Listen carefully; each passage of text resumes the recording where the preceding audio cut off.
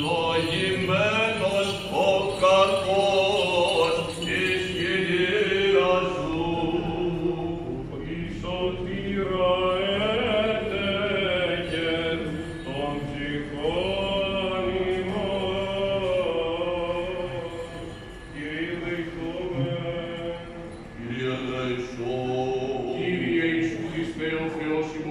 ευλογήσεω στου πέντε άρτου τη ερήμο και εξ αυτών πεντακισχυλίου άνδρα κοντά σα,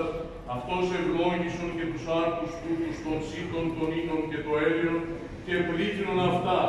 Εν την πόλη και νήσο ταύτη, εν τη οίκη των εορταζόντων και προσφερόντων τα δώρα ταύτα και εν τον κόσμος σου άπαντη και τους εξ αυτών μεταλαμβάνοντας πιστού δούλους σου αγίαζο, ότι σύ ο ευλογών αγιάζον, πληθύνων και τρέφοντα σύμπαντα Χριστέ ο Θεός ημών, και εσύ την κόψα να απέχομαι, συν το ανάρκο σου πατρί και το Παναγίο και αρμαθόν και ζωοποιό σου